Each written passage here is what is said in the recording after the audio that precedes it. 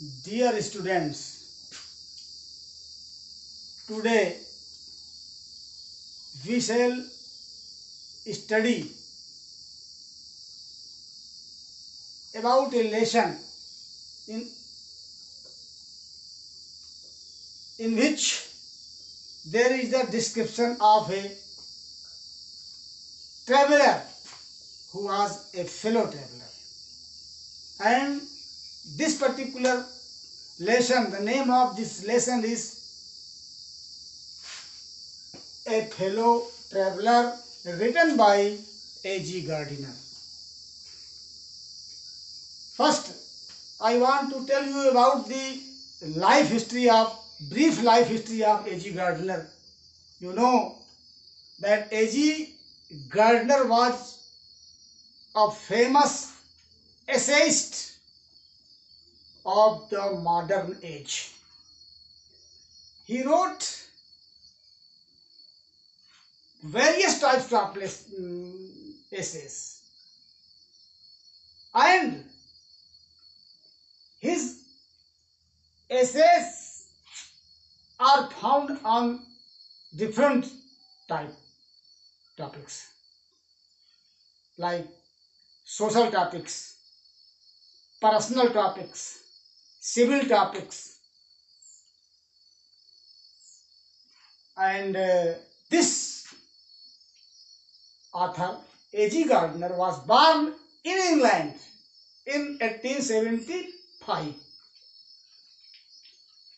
and uh, he is well known for his essays. He was a good editor of a London newspaper and the name of the newspaper was uh, the Daily News. And he edited this newspaper, Daily News, for 17 years.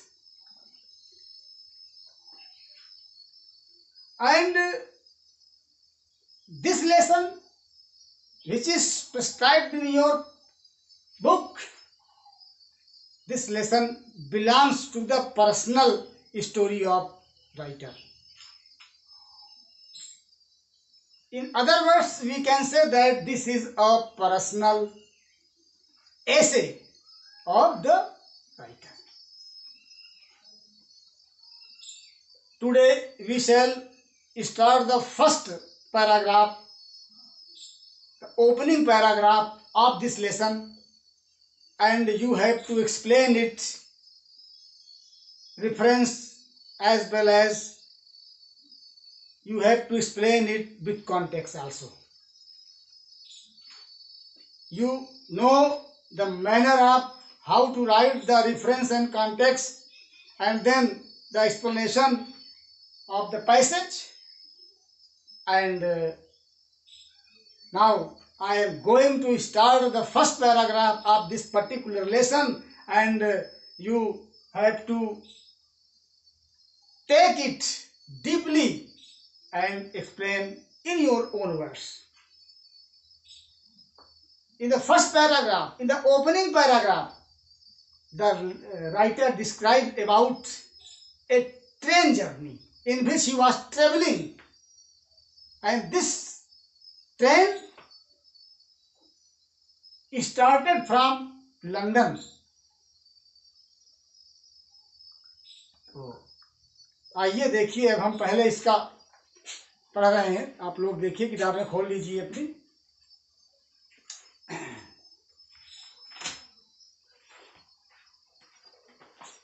I do not know which of us got into the carriage first. Indeed, I did not know he was in the carriage at all for some time.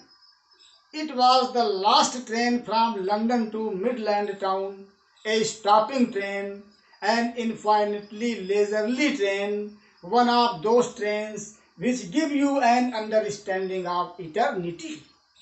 It was tolerably full when it started, But as we stopped at the suburban stations, the travelers alighted in ones and twos, and by the time we had left the outer ring of London behind, I was alone, or rather, I thought I was alone.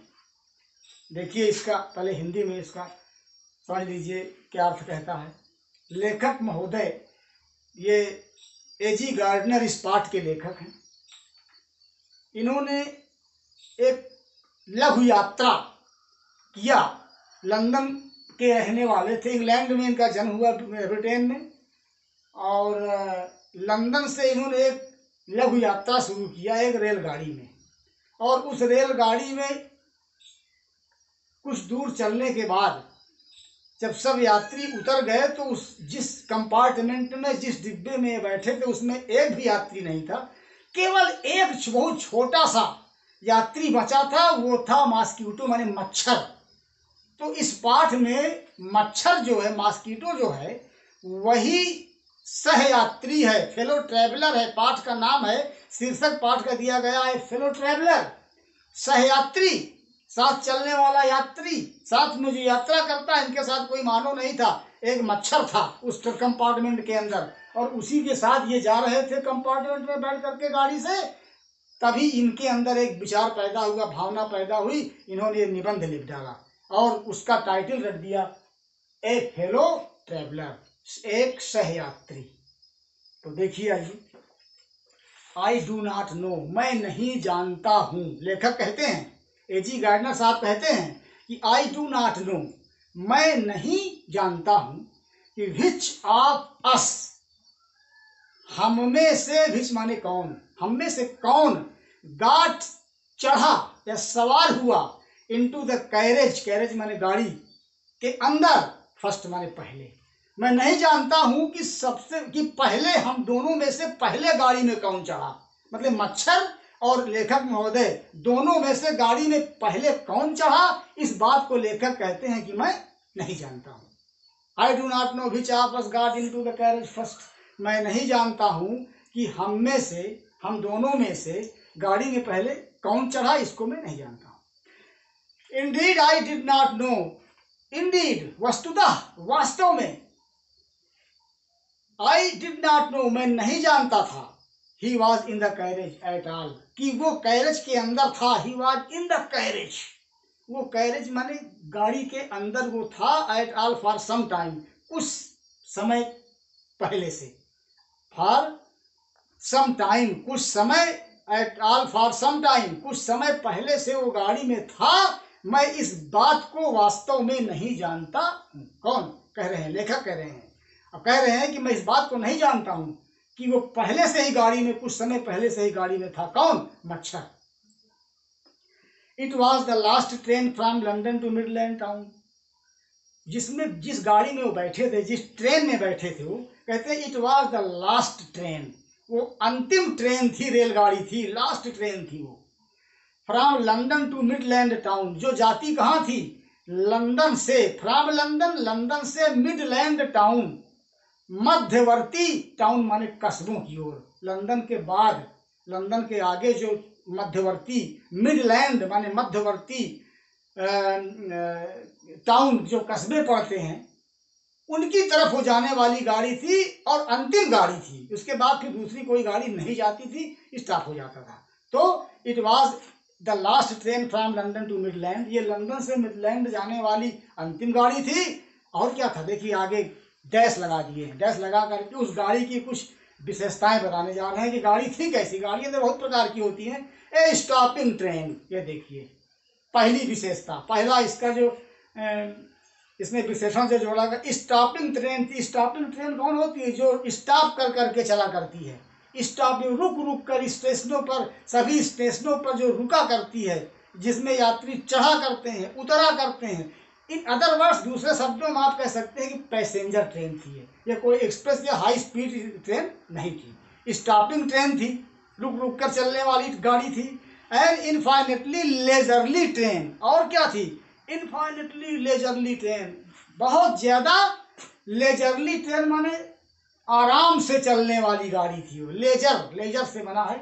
आराम से धीरे धीरे आराम से infinitely माने बहुत अधिक, बहुत ज़्यादा आराम से या धीरे धीरे चलने वाली वो ट्रेन थी दो विशेषता रुक रुक कर चलने वाली ट्रेन थी लेजरली ट्रेन थी माने वो बहुत आराम से चलने वाली ट्रेन थी। वन ऑफ़ दोज ट्रेन्स उन गाड़ियों में से वन माने एक थी। उन गाड़ियों में से एक थी विच जो गिव यू आपको देती हैं an understanding of eternity eternity माने निरंतरता या शाश्वतता। का अंडरस्टैंडिंग माने ज्ञान। जो शाश्वत या निरंतरता का ज्ञान देती हैं इटर्निटी इटर्नल कोई चीज़ इटर्नल होती है, शाश्वत होती है, उस चीज़ की अंडरस्टैंडिंग देने वाली ये गाड़ियों में से एक गाड़ी थी। उस गाड़ी में बैठने के बाद ऐसा एहसास होता है बैठने वाले को कि ये जो है उसके अंदर एक समझ पैदा होती है, एक अंडरस्टैंडिंग पैदा होती कहा है कि इटर्निटी की शाश्वत शाश्वत माने हर चीज़ शाश्वत है, इसका ज्ञान पैदा होता है। इट वॉज़ टॉलरेबली फुल वो टॉले टॉलेरेबली फुल माने पूरी तरह से वो भरी हुई गाड़ी थी वो। फुल पूरी तरह से भरी हुई थी। Completely full when it started जब वो स्टार्ट हुई, जब वो चली गाड़ी लंदन से जब वो गाड़ी चली तो वो पूरी तरह से टॉलेबली पूरी तरह से फुल थी, भरी हुई थी। यात्रियों से। बट एज वी स्टॉप लेकिन जैसे जैसे we stop at the suburban station जब हम स्टॉप करते थे, रुकते थे at the suburban station suburban station कौन होते हैं? उपनगरीय स्टेशन शहर के मुख्य जो शहर होता है, जैसे लंदन शहर के बाद जो लंदन से जब गाड़ी चली तो बीच बीच में छोटे छोटे स्टेशन उसी शहर की सीमा के क्षेत्र के अंदर वाले जो पड़ा करते हैं, उनको सबर्बन स्टेशन कहते हैं। तो जब हम रुकते थे, जब we stop at the suburban station जब हम उपनगरीय स्टेशनों पर स्टॉप करते थे, रुकते थे द ट्रेवलर्स एलाइटेड यात्री एलाइटेड माने उतरते थे गाड़ी से। In ones and twos ones माने एक एक करके एंड एक एक करके, दो दो करके, कहीं एक, कहीं दो दो करके, इस तरह से लोग सब अर्बन स्टेशन पर उतरते गए। And by the time we had left और इस समय तक वी हैड लेफ़्ट हम छोड़ चुके थे। The outer ring of London outer ring outer ring बाहरी सीमा। लंदन नगर की जो बाहरी सीमा थी आउटर लिमिट जो थी, उस शहर की, उस नगर की, उसको हम लोग अब तक छोड़ चुके थे और बिहान आई वॉज़ एलोन और मैं अकेला हो गया। मतलब ये लोग एक एक करके, दो दो करके उतरते गए और लंदन की बाहरी सीमा में पहुँचते पहुँचते मैं उस कंपार्टमेंट में अकेला रह गया। और रादर आई थॉट अथवा मैंने सोचा आई थॉट मैंने सोचा कि आई वाज एलोन कि मैं अकेले हूँ। लेखक कहते हैं कि जब लंदन की बाहरी सीमा समाप्त हो गई, उस समय तक मैंने अपने मन में सोचा कि मैं अकेला हूँ और मैं अकेला हो भी गया था। अर्थात, अब कंपार्टमेंट के अंदर कोई ट्रेवलर नहीं थे और केवल लेखक महोदय उसके अंदर थे। Now you have to explain it in English the writer A.G. Gardiner describes about his journey which he started from London to Midland towns.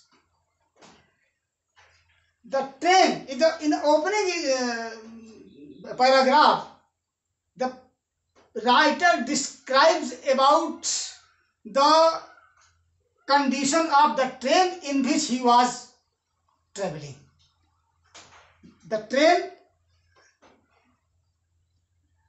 in which he was traveling was a stopping train, was a slow speed train. And the train stopped at every stations. In other words, we can say that it was a passenger train. And the author says that he did not know who uh, got into the train first. Because there was a fellow traveler of the writer and the traveler was mosquito the writer says that he did not know who got into the carriage first uh, writer or the mosquito and the train in which